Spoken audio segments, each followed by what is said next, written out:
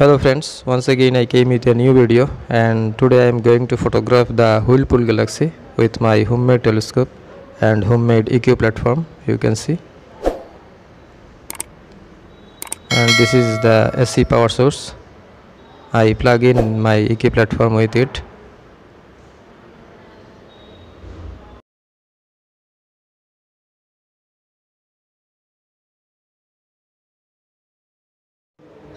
and now I am going to use a mobile app to align my EQ platform horizontally 0 degree. You can see this is a spirit level app. It has a spirit level as well as angle degree. You can see.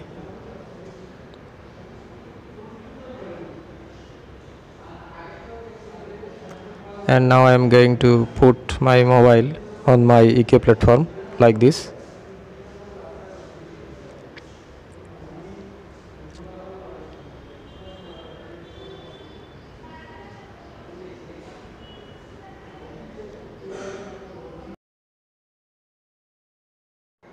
and now I am trying to adjust the level to 0 degree using this kind of pebble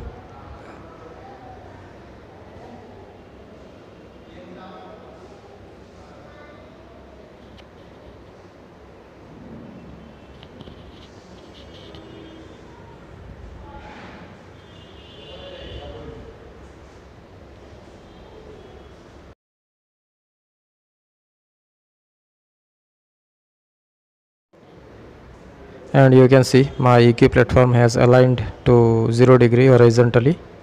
You can see. Okay so now I am going to put my Dobsonian telescope on the EQ platform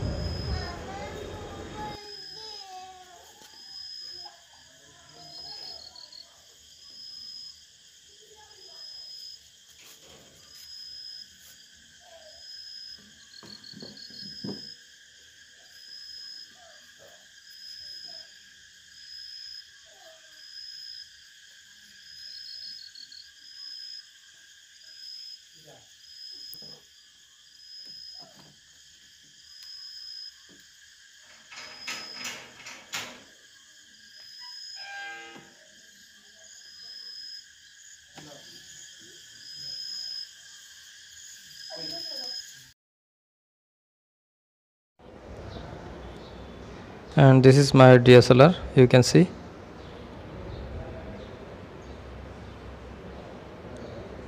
I am connecting a T adapter with it.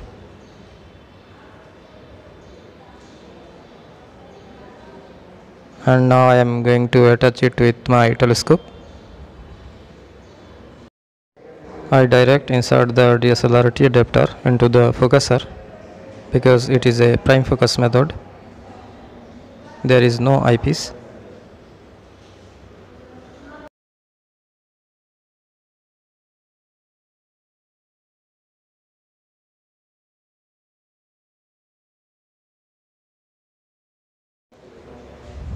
And yes a chair is needed.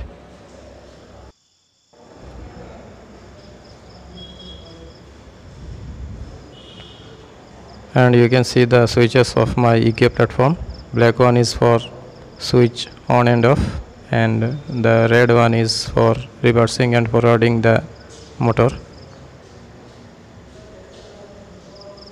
You can see the whole setup. And now I am going to use this app to find out the Whirlpool galaxy in the sky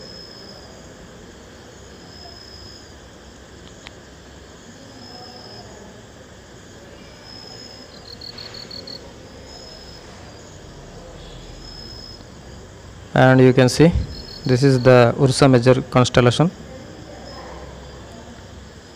To find out the Whirlpool galaxy first you have to go to the last star of this constellation Alkaid. And you will find two more bright star with your finder scope you can see. And from this middle star you have to go a little bit upward uh, here you can see.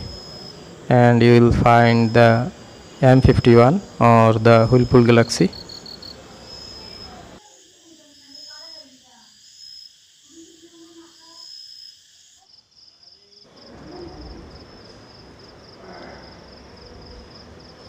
So let's start the shooting. This is my finder scope you can see. So first I have to see the star pattern around the Whirlpool galaxy as shown in the Stellarium map. You can't see the Whirlpool galaxy with your finder scope you can only see the star pattern around it. And yes I find the star pattern around the Whirlpool galaxy and now I am going to switch on my trigger.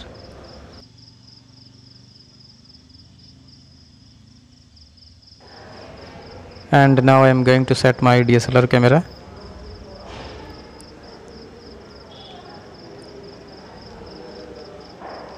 I am decreasing the shutter speed to 8 second.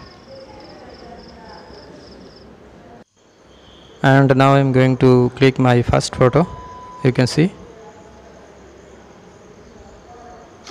I set my exposure time at 8 second. So let's see the result after 8 second.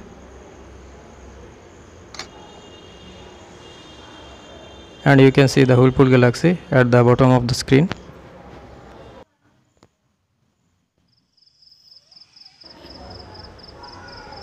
and thus I clicked about 30 photos. You can see. And out of 30 photos I chose only 10 best images to stack with deep sky stacker.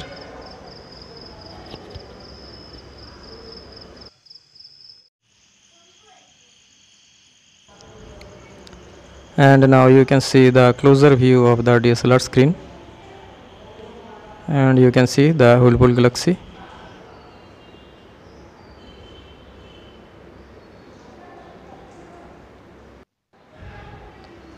On the DSLR screen you can even see the spiral arms of the Whirlpool Galaxy.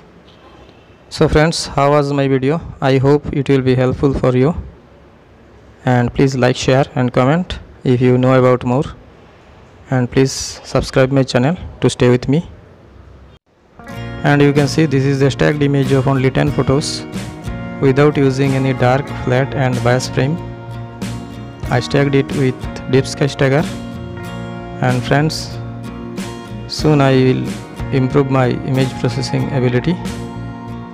So thanks for watching my friends